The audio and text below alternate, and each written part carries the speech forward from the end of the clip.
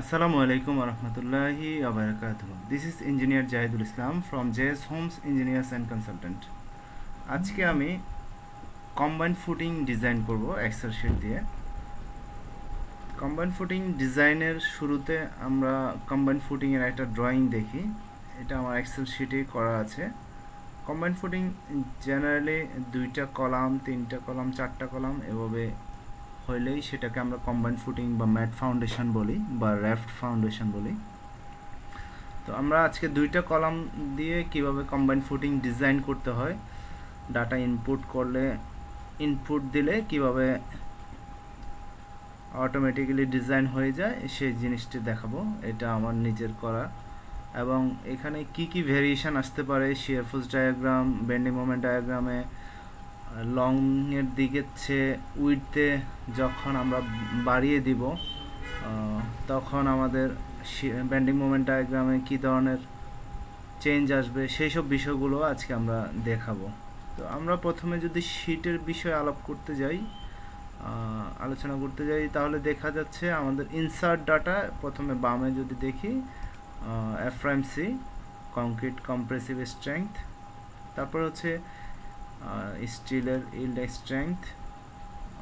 তারপরে হচ্ছে আমাদেরকে দিতে হবে কলাম ওয়ানের ডাটা অ্যান্ড কলাম টু এর ডাটা।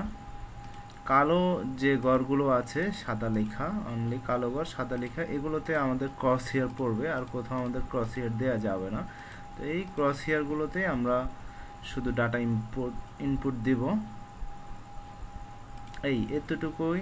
দেন হচ্ছে আমাদের স্টিল কত নাম্বার স্টিল আমরা ইউজ করব? তিন সুতা, চার সুতা, পাঁচ সুতা, ছয় সুতা, আট সুতা, সাত সুতা, দশ সুতা, কত সুতা স্টিল ইউজ করব? অ্যান্ড আমাদের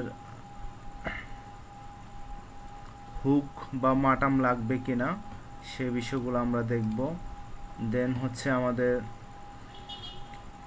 লং ডিরেকশানে রডটা বটম লেয়ারের লং ডিরেকশনের রড কি নিচে যাবে নাকি শর্ট ডিরেকশনের রডটা নিচে যাবে? সে বিষয়টাও আজকে আমরা এখানে দেখব।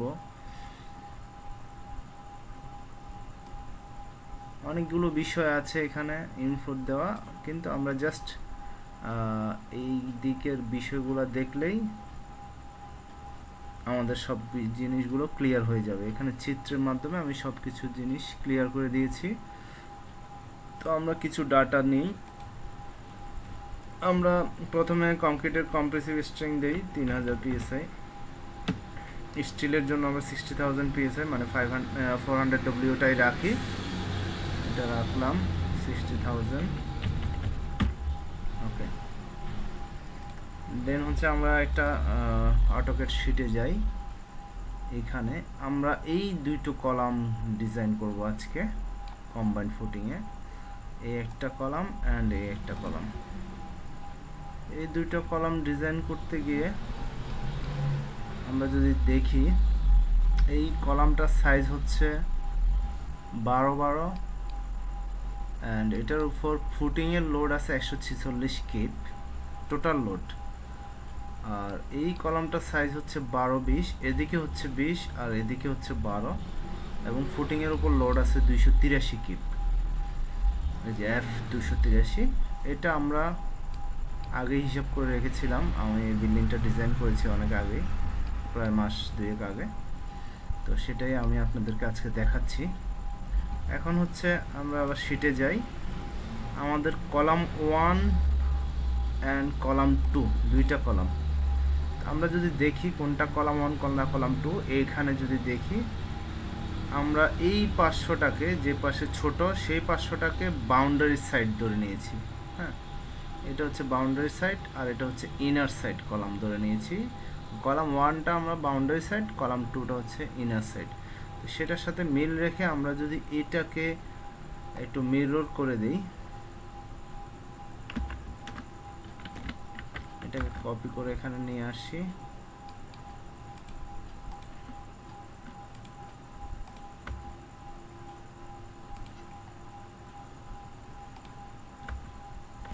আমাদের এক্সেল শিটের সাথে মিল রাখার জন্য আমরা এটাকে মিরর করে দিলাম। ওকে আমরা বলেছি আমরা এইটা ডিজাইন করব, এখানে একটা দাগ দেই। এই অংশটা ডিজাইন করব, যেটা কলাম সাইজ হচ্ছে বারো বারো বাম পাশে। অ্যান্ড কলামের সেন্টার থেকে বাউন্ডারি ওয়াল পর্যন্ত এটা ডিস্টেন্স যদি দেখি আমরা, তাহলে দুই ফিট তিন ইঞ্চি, আড়াই ইঞ্চি এরকম আছে। তা আমরা ধরে নিলাম দুই ফিট আছে। তাহলে আমরা এটাকে ধরবো সি ওয়ান অ্যাকর্ডিং টু আমাদের শিট শিটে আমরা বাম পাশেরটাকে সি ওয়ান বলতেছি সো এটাকে আমরা সি ওয়ান লিখে দিই। সি ওয়ান অ্যান্ড এটা হচ্ছে আমাদের সি টু এই হচ্ছে বিষয়। দেন হচ্ছে আমাদের এই কলামটাকে আমরা বলতেছি বারো বারো করব। সো বারো বারো যদি করি, আমরা এটা এখানেই বারো বারো করে নেই। এখানে আছে কত? বারো, আর এদিকে আছে পনেরো। এটাকে বারো বারো করে নেই।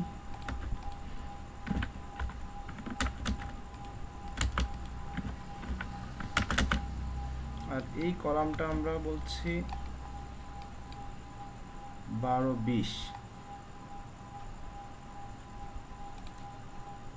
এইদিকে কত আছে? পনেরো। আর এইদিকে আছে বারো। বারো ঠিক আছে, এদিকে আমরা জাস্ট পাঁচ করে দেই, আর এটাকে আমরা সেন্টার লাইনে নিয়ে আসি। এই বারো বিশ। এখন আমরা যদি এটার ডিস্টেন্সগুলো দেখি, আমাদের এই ডিস্টেন্সগুলো দরকার হবে। আমরা যদি এক্সেল শিটে গিয়ে দেখি ওই যে, কলাম সেন্টার থেকে বাম পাশে আউটার এজ পর্যন্ত একটা ডিস্টেন্স দরকার হবে।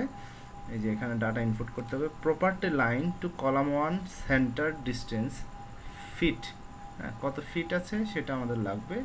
দেন হচ্ছে centre to centre distance between column one and column two feet এই column one and column two এর সেন্টার টু সেন্টার ডিস্টেন্সটা আমাদের লাগবে। দেন হচ্ছে column two centre to right edge এই যে right edge of footing distance feet এই column two এর সেন্টার থেকে ফুটিং এর রাইটস এজের ডিস্টেন্সটা আমাদের লাগবে।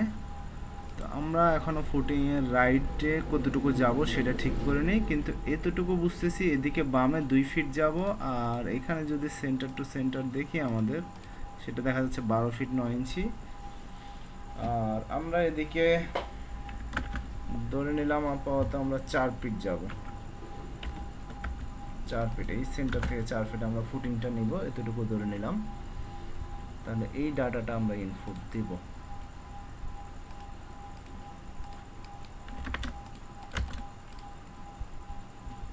এদিক থেকে যাব বলতেছি দুই ফিট এই সেন্টার থেকে এদিকে দুই ফিট যাব বাম দিকে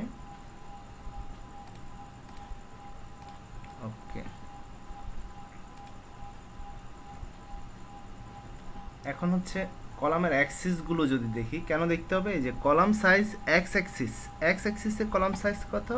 Column size Y axis Y অ্যাক্সিসে কত? সেটা আমাদের লাগবে। দেন আমাদের লাগবে আনফ্যাক্টরেড ডেড লোড কিফে আনফ্যাক্টরেড লাইভ লোড কিপে লাগবে।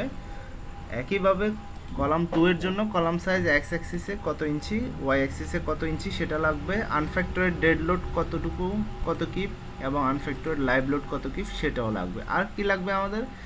থিকনেস অফ ফুটিং আমরা অ্যাজিউম করে নিতে হবে।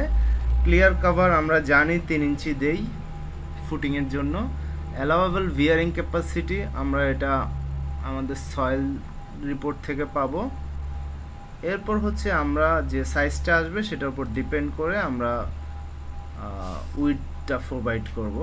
এই যে উইথটা ফুটিংয়ের যে উইথ এটা ছাড়া আমাদের আর কাজ হচ্ছে স্টিল কত নাম্বার দিব? সেইটা। আর কোনো কাজ নেই আমাদের।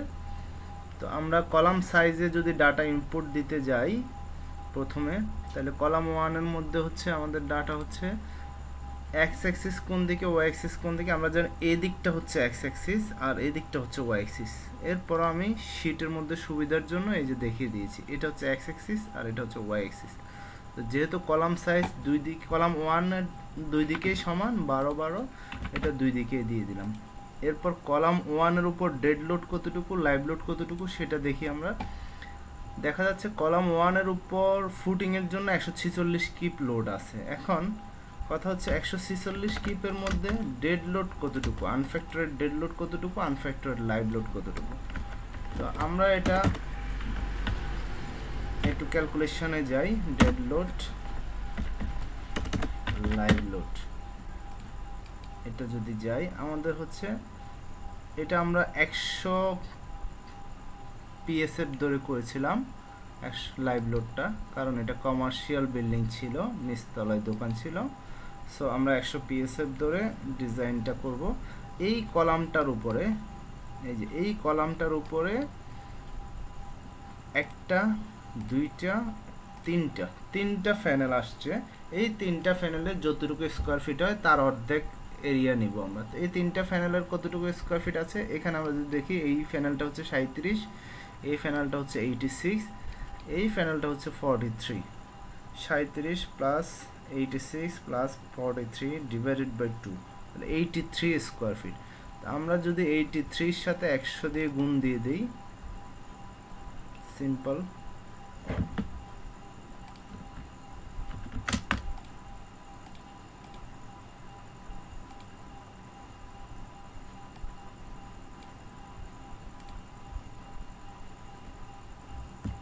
এইটি থ্রি ইন্টু একশো divided by one thousand equal to eight point three kip eight point three kip হচ্ছে আমাদের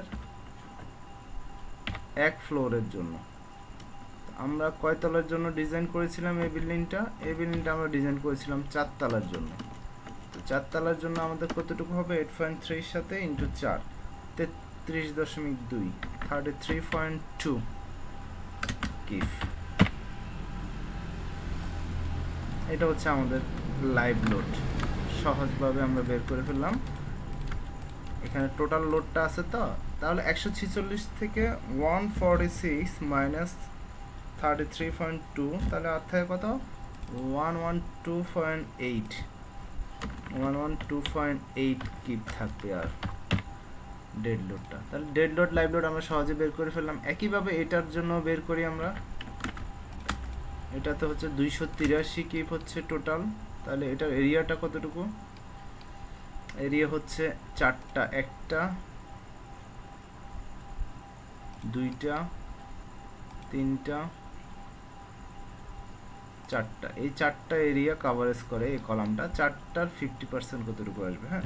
তাহলে এটা যদি দেখি, এটা হচ্ছে ফিফটি সিক্স স্কোয়ার ফিট যোগ এইটি সিক্স যোগ six two hundred eight two hundred eight যোগ হচ্ছে two hundred eleven total five six one divided by two equal to two eighty point five দুইশো আশি দশমিক পাঁচ স্কোয়ার ফিট দুইশো আশি দশমিক পাঁচ স্কোয়ার ফিটকে আমরা যদি একশো দিয়ে গুণ করি, একশো পিএসএফ যেহেতু লাইভ লোড ডিভাইডেড বাই হচ্ছে আমাদের এক হাজার, তাহলে আঠাশ দশমিক জিরো ফাইভ কিফ ইন্টু হচ্ছে আমাদের চারতলা একশো বারো দশমিক দুই এটা হচ্ছে আমাদের একশো বারো দশমিক দুই লাইভ লোড একশো বারো দশমিক দুই। তো সিম্পল দুইশো তিরাশি থেকে একশো বারো দশমিক দুই বাদ দিয়ে দিব। মাইনাস দুইশো তিরাশি, একশো সত্তর দশমিক আট। তাহলে কলাম ওয়ান এবং টু এর জন্য আমরা ডেড লোড এবং লাইভ লোড বের করে ফেললাম আমাদের ফুটিং ডিজাইনের জন্য। একদম সিম্পলি উপায়। আমরা ডাটা ইনপুট করে দিই। এটা হচ্ছে একশো বারো দশমিক দুই আর হচ্ছে তেত্রিশ দশমিক দুই। এই যে ডেড লোড একশো বারো দশমিক দুই আর হচ্ছে তেত্রিশ দশমিক দুই। ওকে দেন হচ্ছে property line to column one centre distance এই যে property line to column one centre distance হ্যাঁ আমরা যদি দেখি, আমরা এই যে property line to column one centre distance সেটা হচ্ছে দুই ফিট দুই ফিট এরপর হচ্ছে centre to centre distance between column one and column two ডিস্টেন্সগুলো বসিয়ে দিই। কলাম টু এর ডাটা ইনপুট করব, এরপরেই centre to centre distance between column one and column two twelve feet nine inch twelve feet nine inch মানে seventy five okay then হচ্ছে column two centre to right edge of footing distance feet এটা হচ্ছে এই column two এর centre থেকে right ads of footing আমরা ফুটিংটা চার ফিট পর্যন্ত নিব, এখন পর্যন্ত আমরা এটা এজিউম করে নিচ্ছি। পরে দেখা যাবে কি হবে, চার ফিট লিখে দিলাম। এরপর কলাম টু এর ডাটা এক্স অ্যাক্সিসে কলামটা হচ্ছে আমাদের, এই যে এক্স অ্যাক্সিসে আমাদের কলাম বিশ ইঞ্চি আর ওয়াই অ্যাক্সিসে হচ্ছে বারো ইঞ্চি। আমরা বিশ ইঞ্চি বসাইলাম, এদিকে হচ্ছে ওয়াই অ্যাক্সিসে হচ্ছে বারো ইঞ্চি। ডেড লোড হচ্ছে আমাদের এটার উপরে একশো সত্তর দশমিক আট one seventy point eight and live load হচ্ছে একশো বারো দশমিক দুই, একশো বারো দশমিক দুই। তাহলে আমাদের এই পর্যন্ত ডাটা ইনপুট দেওয়া শেষ হয়ে গেল। আমরা তিন হাজার পিএসআই মানে কংক্রিট দিয়ে ডালাই দিব। One is to one point five is to থ্রিতে এরপর থিকনেস অফ ফুটিং আমরা চব্বিশ ইঞ্চি থিকনেস দিয়ে আগাই ফুটিংটা আমরা সবসময় চব্বিশ ইঞ্চি ধরে আগাবো দেন বাড়াবো বা কমাবো, তখন দেখা যাবে। ক্লিয়ার কভার দিলাম তিন ইঞ্চি। তিন ইঞ্চি clear cover allowable bearing capacity আমাদের এইটার বিয়ারিং ক্যাপাসিটি একটু কম আছে। কতটুকু কম আছে? আমরা ধরে নিলাম যে আমাদের ওয়ান টিএসএফ বিয়ারিং ক্যাপাসিটি আছে। তো ওয়ান টিএসএফ মানে two point two zero four KSF okay তাহলে আমাদের হচ্ছে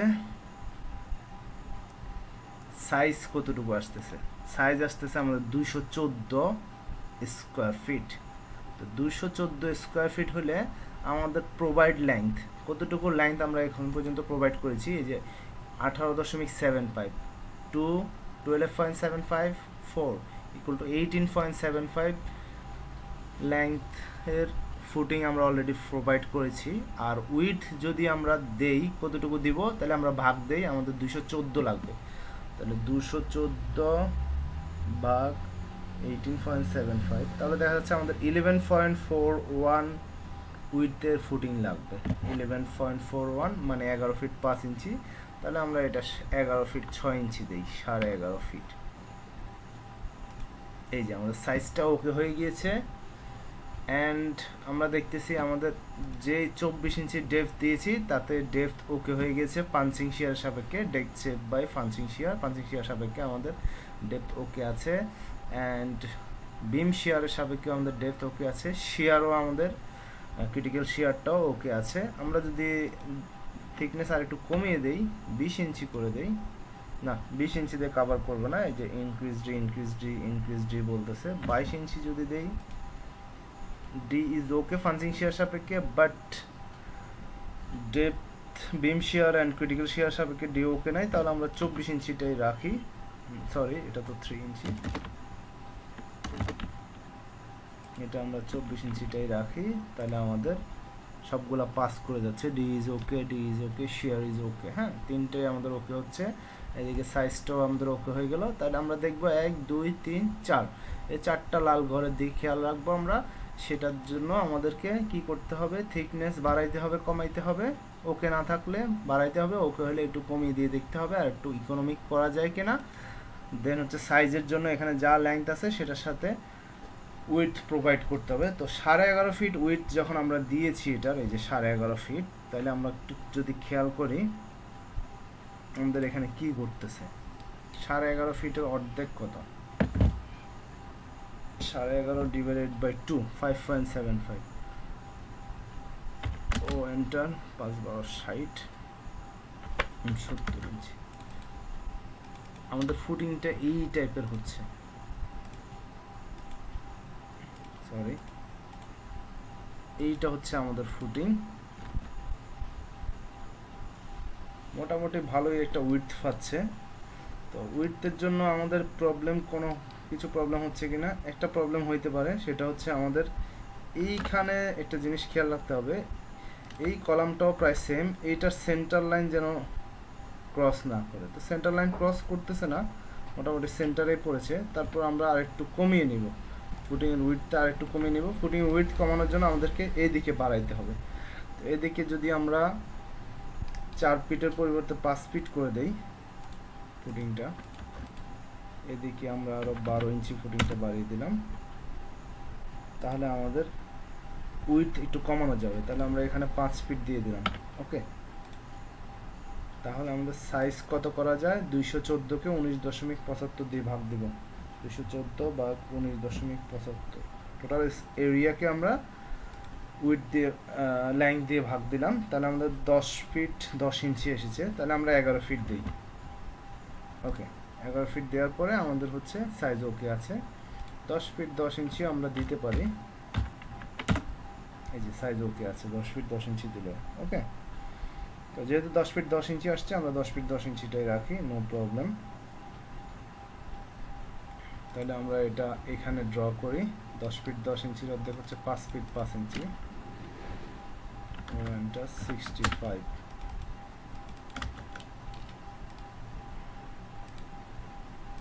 ওকে এটা হচ্ছে আমাদের ফুটিংটা আমরা এটা কালো করে দিই। দেখার সুবিধার জন্য এটা কালো করে দিলাম।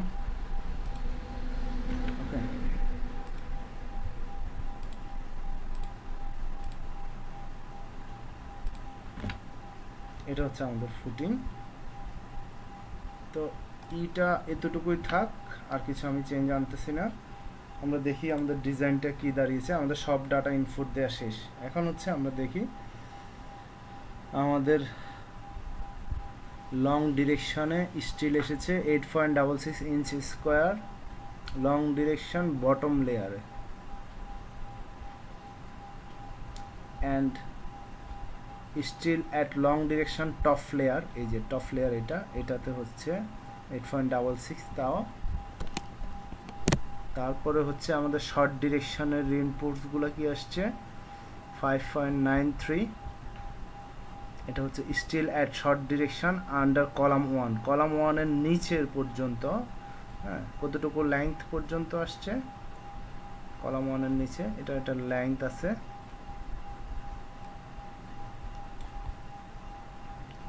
সেই লাইনটা হচ্ছে আমাদের এইটা ফোর পয়েন্ট নাইন ফিট এই পাশ থেকে, এই পাশ থেকে এদিকে ফোর পয়েন্ট নাইন ফিট পর্যন্ত, দূরত্ব পর্যন্ত আমাদের রড আসছে চোদ্দোটা, ছয় সুতা যদি আমরা রড ইউজ করি। আর যদি আমরা সাত সুতা রড ইউজ করি, একটু চেঞ্জ করে দেখি, এই যে দশটা হয়ে যাবে। তো আমরা একটু পরে চেঞ্জ করতেছি, আগে স্টিলগুলো দেখি। Steel at short direction under column two এই যে শর্ট ডিরেকশন এই যে গোল গোল, এগুলো কলাম টু এর নিচে কয়টা আসছে? বিশটা। এটা কতটুকু দূরত্ব? এই থেকে এ পর্যন্ত। ডিস্টেন্সটা কতটুকু? এটা হচ্ছে আমাদের এই যে Y two four point nine two এটা।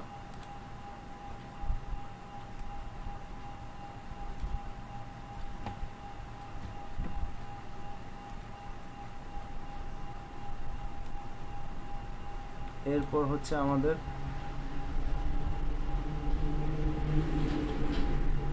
steel at short direction top layer এটা তীর চিহ্ন দিয়ে আমি দেখিয়ে দিয়েছি, এই যে এটা শর্ট ডিরেকশন টপ লেয়ারে রড কতটুকু আসছে? আঠাশটা বারো মিলি রড দিলে হবে। এরপর আমরা যদি দেখি, কোনো হুক লাগতেছে কিনা। No needs of hooks for short way short ওয়ের দিকে, এই যে এদিকে। এই দিকের জন্য কোনো হুক দরকার নাই আমাদের। অ্যান্ড আমরা যদি এর পরেরটা দেখি। Available length beyond column one face long way অর্থাৎ এই যে লং এর দিকে কলাম ওয়ানের যে ফেজ আছে এদিকে, বামের দিকে, সেদিকে আমাদের provide ninety degree hook ninety degree hook দিতে হবে। সেটার লেংথ কতটুকু? সেটার লেন্থ হচ্ছে চব্বিশ ইঞ্চি। হ্যাঁ চব্বিশ ইঞ্চি একটা হুক প্রোভাইড করতে হবে আমাদেরকে। তারপর হচ্ছে আমাদের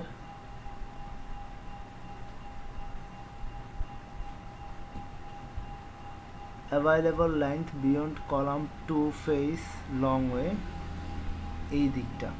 এই যে লং ওয়ের এই দিকটাতে আমাদের কোনো হুক লাগবে কিনা, বলতেছে no needs of hook for short way sorry এটা লং ওয়ে লেখা হবে শর্ট ওয়ে উঠে গেছে। তারপর হচ্ছে আমাদের বটম লেয়ার বটমে শর্ট রিনফোর্সমেন্ট এই যে, এখানে একটা বিষয় চলে আসছে। আমাদের বটম লেয়ারের এটা হচ্ছে বটম লেয়ার এই একটা রড এই একটা রড এই দুইটা রড মিলে হচ্ছে আমাদের বটম লেয়ার এটা হচ্ছে লং ডিরেকশন আর এটা হচ্ছে শর্ট ডিরেকশন দেখাচ্ছি আমি। কিন্তু আমার এখানে ডিজাইন বলতেছে উল্টো। বটম লেয়ারের বটমে শর্ট ডিরেকশনের রিনফোর্সমেন্টগুলো বসবে। দ্যাট মিন্স আমি যেভাবে ডিজাইন করেছি, সেভাবে এইভাবে রডগুলো বসবে না। লংয়ের রড নিচে বসবে না, নিচে বসবে শর্টের রডগুলো হ্যাঁ কেন শর্টের রডগুলো নিচে বসবে? আমরা যদি বেন্ডিং মোমেন্টের দিকে দেখি, আমরা যদি বেন্ডিং মোমেন্টটা খেয়াল করি এখানে, এই যে আমাদের লং ডিরেকশন এই যে লং ডিরেকশনের বেন্ডিং মোমেন্ট হচ্ছে টু থার্টি টু এবং টপ লেয়ার হচ্ছে থ্রি সিক্সটি টু বাট আমাদের শর্ট ডিরেকশনের বেন্ডিং মোমেন্ট হচ্ছে two thirty nine three forty nine তার মানে এই যে, এটা হচ্ছে টপ লেয়ার বটম লেয়ারটা এই যে দুইশো বত্রিশের চেয়ে আমার হচ্ছে তিনশো পঞ্চাশটা বড়। হ্যাঁ শর্ট ডিরেকশনের মুভমেন্ট বেশি আসছে। সেজন্য আমাকে শর্ট ডিরেকশনের রডটা নিচে প্রোভাইড করতে হবে। আমরা একটা সব সময় একটা ভুলের মধ্যে থাকি এবং আমরা বলি যে শর্ট বিমের ক্ষেত্রে ফুটিংয়ের ক্ষেত্রে লং ডিরেকশনের রড নিচে বসবে, এ ধরনের একটা ভুলের মধ্যে থাকি। এটা যদি আমি রড ধরে নেই, এই ভুলটা আসলে করা যাবে না। আমাদের মোমেন্ট যেখানে বেশি আসবে, সেখানে আমাদের স্টিল নিচে উপরে প্রোভাইড করতে হবে হ্যাঁ? এই জিনিসটা খেয়াল রাখতে হবে। এই যে, এইটা হচ্ছে শর্ট ডিরেকশনের রড নিচে চলে যাবে এবং লং ডিরেকশনের রড উপরে চলে আসবে। এটা দেখানোর জন্যই আমি এই চিত্রটা ড্র করতেছি। এভাবে শর্ট ডিরেকশনের রডগুলো নিচে আসবে এবং লং ডিরেকশনের রড কিন্তু আমার ওখানে এক্সেল শিটে লং ডিরেকশনের রড নিচে আছে। তো আমরা লং ডিরেকশনের রড কখন যাবে? এখানে শর্ট রিনফোর্সমেন্ট লেখা আছে। যখন এখানে লং রিনফোর্সমেন্ট লেখা থাকবে, তখন হচ্ছে লং ডিরেকশনের রড নিচে নামবে। হ্যাঁ? তো সেটা নামে কিনা সেটাও আমরা দেখি একটু। আমরা যদি এইটা হচ্ছে দুই ফিট এটা হচ্ছে বারো ফিট নয় ইঞ্চি। আমরা যদি আমাদের বিয়ারিং ক্যাপাসিটি একটু বাড়িয়ে দিই one point five T TSF ধরি, তাহলে আমাদের হচ্ছে three point three K KSF দাঁড়াবে। তাহলে আমাদের সাইজ কিছুটা কমবে। কতটুকু কমবে? একশো তেতাল্লিশ আসছে। তাহলে একশো তেতাল্লিশ বা হচ্ছে উনিশ দশমিক সেভেন ফাইভ তাহলে আমাদের সাত ফিট তিন ইঞ্চি দিলে হবে উইডটা সেভেন পয়েন্ট টু ফাইভ এতটুকু উইথ দিলেই হবে আমাদের। আমাদের ডিটা বাড়াইতে বলতেছে।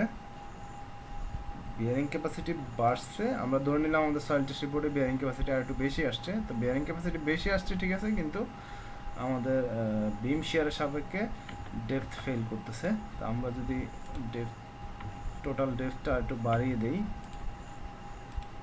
আমাদেরকে যতক্ষণ পর্যন্ত ডেপথ কভার করবে না, ততক্ষণ পর্যন্ত ডেপথ বাড়াইতে হয়ে যায় তিরিশ ইঞ্চি হয়ে গেছে তখন, এখানে ডেপথ ওকে আছে পাঞ্চিং শেয়ারে বিম শেয়ারও ওকে হয়েছে ক্রিটিক্যাল শেয়ারও ওকে হয়েছে সাইজও ওকে আছে এখন হ্যাঁ? এখন কি ঘটেছে? এখন হচ্ছে সাত ফিট তিন ইঞ্চি হয়ে গেছে আমার উইডটা। এই যে উইডটা সাত ফিট তিন ইঞ্চি হয়ে গেছে, কমে গেছে। তো কমে যাওয়ার ফলে আমার দেখা দেখি এই যে লং রিনফোর্সমেন্ট এবার হচ্ছে লং রিনফোর্সমেন্ট আমি নিচে দিতে পারব। তো এটা যদি আমরা একটু দেখি, আমাদের মোমেন্টটা যদি একটু দেখি। এই যে আমাদের এটা কি বেড়েছে কিনা দেখি। যে দুশো বত্রিশ, এখানে আছে কত? একশো দশ, এখানে হচ্ছে একশো বিয়াল্লিশ। তাহলে শর্টের চেয়ে লংয়ের মোমেন্ট এখন বেশি আছে এই জন্যে লংয়ের রডটা নিচে যাবে। তো কম্বাইন্ড ফুটিংয়ের ক্ষেত্রে অ্যাজ ইউজুয়াল সবসময় এই ভুল করা যাবে না যে লংয়ের রিনফোর্সমেন্ট সবসময় নিচে বসবে।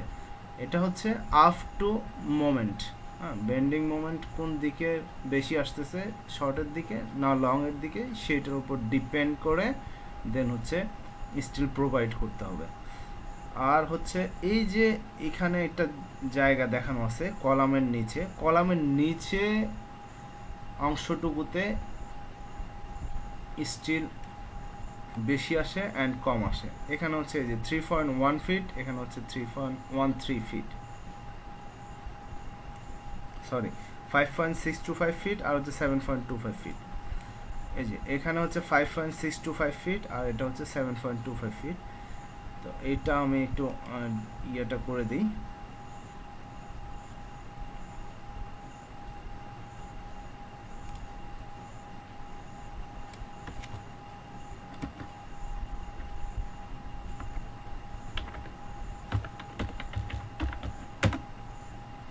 এটা যদি আমি ল্যাংথটা বসিয়ে দিই এখানে।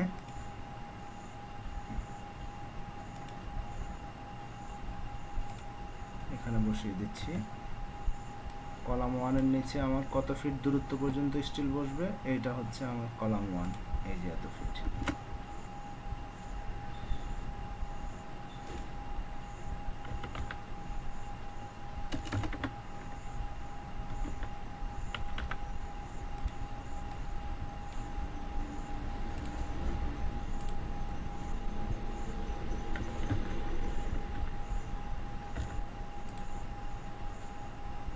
অ্যান্ড কলাম টু এর নিচে হচ্ছে আমার, কতটুকু বসবে? এইটা। এত, এখানে হচ্ছে ফিট সাত ফিট তিন ইঞ্চি পর্যন্ত স্টিল একটু ঘন করে বসাইলে হবে। কতটুকু ঘন? এই যে steel at short direction under column one এই যে শর্ট ডিরেকশানে কলাম ওয়ানের নিচে আমার যদি দশটা স্টিল দেই, পাঁচ ফিট তিন ইঞ্চির মধ্যে, সাত সুতা, আমি যদি এটা ছয় সুতা করি কটে আসে? চোদ্দোটা। আর কলাম টু এর নিচে হচ্ছে এই সাত ফিট তিন ইঞ্চি পর্যন্ত কলাম টু এর নিচে হচ্ছে আঠারোটা স্টিল ছয় সুতা। হ্যাঁ অ্যান্ড বাকি এই থেকে এই অংশটুকু, যতটুকু ডিস্টেন্স আছে five point six two five and seven point two five বাদ দিলে টোটাল ডিস্টেন্স থেকে এই ডিস্টেন্সটা বাদ দিলে যে মার্কিং ডিস্টেন্সটুকু আছে, মাঝখানে আমরা চার সুতা স্টিল আট ইঞ্চি পরপর দিয়ে দিতে পারি হ্যাঁ? মাঝখানে আমাদের আর মোমেন্ট নাই। মাঝখানের মোমেন্টটা হচ্ছে আমাদের, এই যে, মাঝখানে আমাদের উপরের দিকে মোমেন্ট নাই সেজন্য আমরা সেখানে স্টিল না দিলেও চলবে। শুধু কলাম জোনে আমরা স্টিল দিলেই হয়ে যাবে। দেন হচ্ছে এই লং এর দিকের রডটা হচ্ছে এই মোমেন্টটা। এই যে দুশো বত্রিশ, সেটা হচ্ছে এই লং এর দিকের রডটা এই মোমেন্টটাকে রেজিস্ট করবে এবং সেটাকে বাইন্ডার দিয়ে, ওই যে চারশোটা বাইন্ডার দিয়ে জাস্ট বেঁধে দিতে হবে। আর হচ্ছে steel short direction short direction আমরা চারশোটা যদি চব্বিশটা দেই, তাহলে আমরা দেখি আমাদের টোটাল লেন্থ ছিল আমাদের উনিশ ফুট নয় ইঞ্চি। তো উনিশ ফিট নয় ইঞ্চিকে আমরা যদি বারো দিয়ে গুণ করি মাইনাস হচ্ছে দুই পাশে কাভারিং বাদ দিলাম ছয়, দুইশো একত্রিশ ইঞ্চি ডিভাইডেড বাই আমরা বলতেছি কয়টা? চারশো তেরোর চব্বিশটা। তাহলে আমি যদি তেইশ দিয়ে ভাগ দিই, তাহলে দশ ইঞ্চি পরে প্রায়। তাহলে আমরা এক কাজ করতে পারি, তিনশো রড দিতে পারি। এটা অ্যাকচুয়ালি শ্রিঙ্কেজ প্রতিরোধের জন্য, তাহলে বিয়াল্লিশটা বিয়াল্লিশটা, তেতাল্লিশটা। তাহলে বিয়াল্লিশ দিয়ে ভাগ দিলে সাড়ে পাঁচ ইঞ্চি। তাহলে তিন সুতা রড সাড়ে পাঁচ ইঞ্চি সেন্টার টু সেন্টারে যদি আমরা দিয়ে দেই, এই যে এইগুলা বাইন্ডার হিসেবে দেন হচ্ছে আমাদের টপ লেয়ারে আর টপ লেয়ারের লং এর দিকের রডটা যদি আমরা দেখি, সেটা হচ্ছে ছয় সুতা যদি দেই, তাহলে আঠারোটা রড লাগে। তাহলে আমাদের হচ্ছে সাত ফিট তিন ইঞ্চি গুণ বারো মাইনাস হচ্ছে আমাদের ছয় একাশি ইঞ্চি দাঁড়াল, ভাগ হচ্ছে আঠারোটা। আঠারো মানে হচ্ছে সতেরো দিয়ে ভাগ হবে। তাহলে ফোর পয়েন্ট সেভেন সিক্স তার মানে সাড়ে চার ইঞ্চি সেন্টার টু সেন্টারে দিলে আমাদের ছয় সুতা রড, উপরের রডটা কভার হয়ে যাবে। একইভাবে নিচেও সাড়ে চার ইঞ্চি সেন্টার টু সেন্টারে আমরা বিশ মিলি রড প্রোভাইড করব। ছয় সুতা মানে বিশ মিলি রড। একইভাবে আমরা এই যে হুক দিব no needs of hook for short way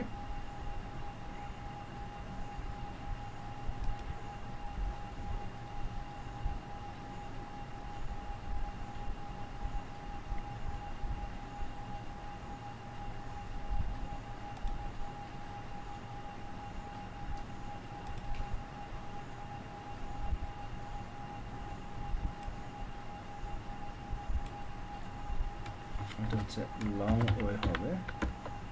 এটা ভুল হয়ে গেছিল। একইভাবে এইটাও লং ওয়ে হবে।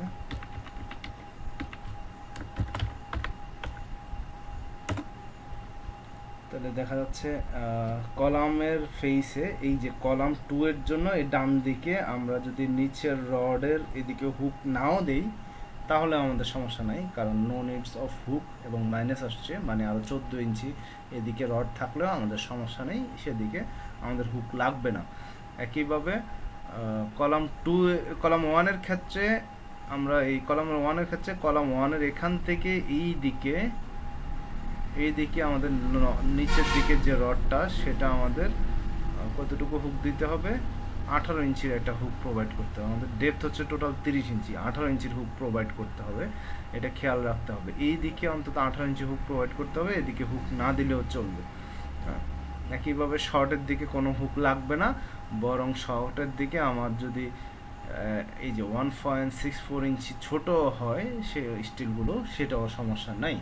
এবং আমরা দেখতেছি বটম লেয়ারের বটমে লং রিনফোর্সমেন্টগুলো বসবে মানে অ্যাজ চিত্রের মতো। আর আগে আমাদের যখন উইথ বেশি ছিল ফুটিংয়ের উইথ যখন দশ ফিট দশ ইঞ্চি ছিল এখানে, তখন হচ্ছে কি আমাদের বটম লেয়ারে শর্টের দিকের রডগুলো নিচে বসছিল। তো আজকের জন্য এতটুকুই।